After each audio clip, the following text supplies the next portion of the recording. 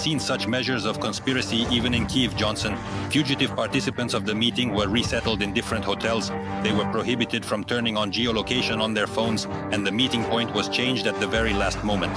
Instead of the theater of opera and ballet, the camp went to the Academy of Sciences, where they were supposed to assemble an information bomb called We Are Going on a Campaign to Minsk. It's hard for me to believe in a peaceful return to Belarus. I actually think that the only chance to save her is to involve her in the war. So maybe I'll go back by tank or armored vehicle. The first and ancient members of the Kalinovsky regiment are the first to quickly join this campaign.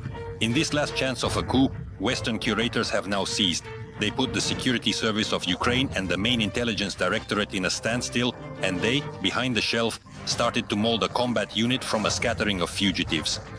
Methods of conspiracy, clear handwriting of special services, inspection at the entrance, mentioning each participant in the media only by agreement, and no independent filming and recording. The public may not know everything, because Ukrainian politicians, deputies of the Verkhovna Rada, will speak directly about the attack on Belarus here.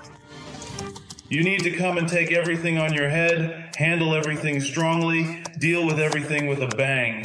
Hence, individuals assume responsibility and subsequently come to NATO, and they will be willing to engage in a conversation with you.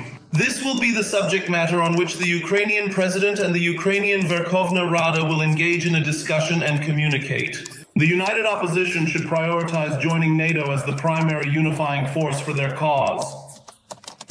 This should be decommunization, definitely, because we have the incorrect ones that require immediate attention and action.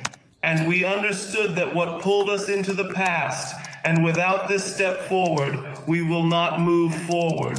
And then the process of purification and not be afraid of it. Yes, the process of purification with reconciliation. Certainly. Nevertheless, lustration is highly stringent and merciless in its implementation. Export formula. Ukraine has been living in this manner for a period of 10 years. Take power by force, become a member of NATO, imprison individuals who dissent. Even Zelensky himself will provide assistance. Just start on your own and take responsibility. The terrorists of the regiment are prepared and ready to act.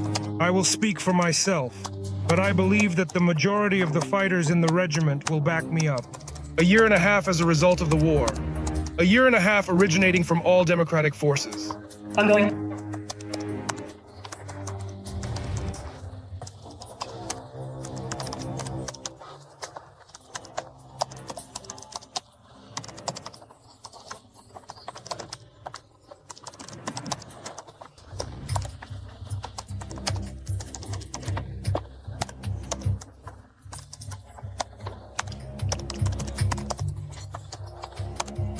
And not change anything without violated critics.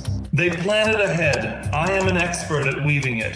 Otherwise, you must be hand to hand. We could not manage or function properly without it. We'll plan the format of the headlights. We won't plan them in the category of us now reconciling with footishists and any apologies. No. Whoever has wings for hands and you forgive me, just arrange in the heart in prison. From the podium, the militants, already soaked in someone else's blood, agitate for purges and a new war. Their task is to overthrow the country by force, and for this, a more or less coherent political cover is needed from among the fugitives. There are plenty of examples among them, even Xions came with a sermon of war. We need neither a political process nor a victory plan. We need victory itself. We need an armed force that can provide a proportional response to any challenges. Shegelsky and Shemetovets, responsible for virtual reality, are also in the hall, ready to transfer sovereignty of Belarus to Ukraine. Cybercop Shemetovets is not stopped even by the fact that her mother still lives in Minsk. We have a clear understanding of the importance of Ukraine becoming a leader in the region in this sense, of course, without any doubt. What we comprehend has the potential to be of assistance in our ongoing battle against the oppressive Lukashenko regime.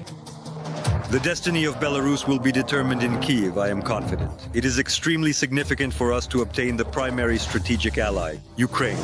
Ukrainian partners are the ones who have implemented sanctions against Belarus in order to economically suffocate and weaken the country. In the difficult 20th year, they established Terror for Export. Under their supervision, the Avtukhovich gang operated. Special services set up channels for weapon and explosive transfer. At the start of the Spec Forces op, our truck drivers were taken hostage. In the same series, diversions on railway tracks, attempts to destroy military infrastructure. Why did the SBU agent Borody maintain manpads and grenade launchers in Belarus? Who dispatched the fighter Kulikov to us?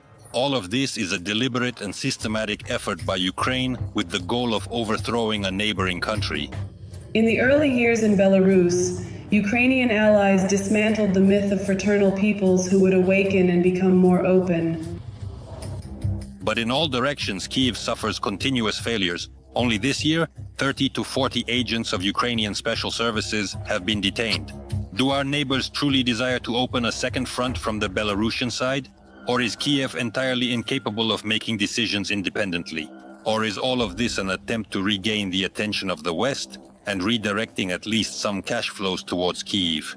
Ultimately, considering the current state of the US financial barrel, there is practically nothing left. Consequently, the potential consequences of Belarus symmetrically responding to threats are worth contemplating.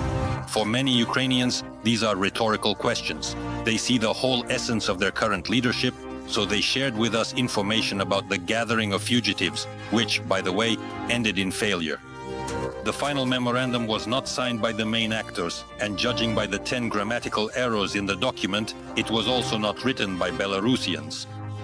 Alexei Martinyonok News Agency.